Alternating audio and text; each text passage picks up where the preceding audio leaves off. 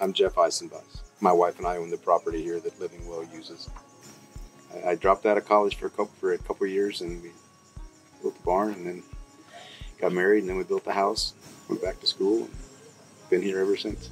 We and we, my wife and I ended up buying the property from my parents while they were living here, and we lived in the barn. That was supposed to be temporary. We've lived in the barn temporarily for 45 years, and uh, we knew all along that at some point we're going to have two dwellings here. We can't live in two places. And I was never very interested in being a landlord, just having tenants and dealing with that.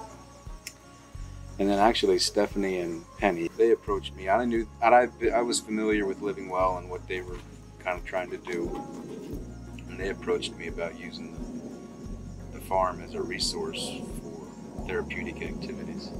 There's something about this property, or maybe maybe any kind of farm property, that's very um, seems to be very settling, very therapeutic for people who are uh, kind of lost or have lost their footing or lost their bearings and need to get re re something reprogrammed.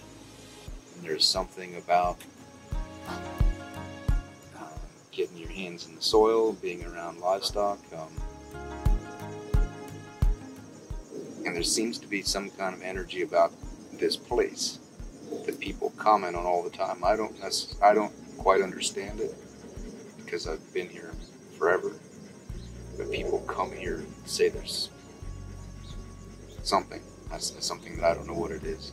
It is nice to have that part of my life, the part that is uh, connected to the land and livestock and machinery, I, I really, that's a part of my life that's been really rewarding and uh, I enjoy, along with the people skills and the,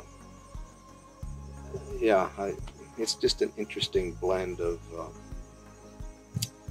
avenues of, of contributing to the, to the world.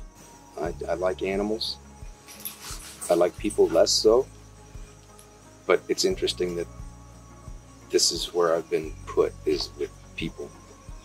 So I'm still trying to figure out uh, exactly how to to use the facilities and to use the care team that's being put together.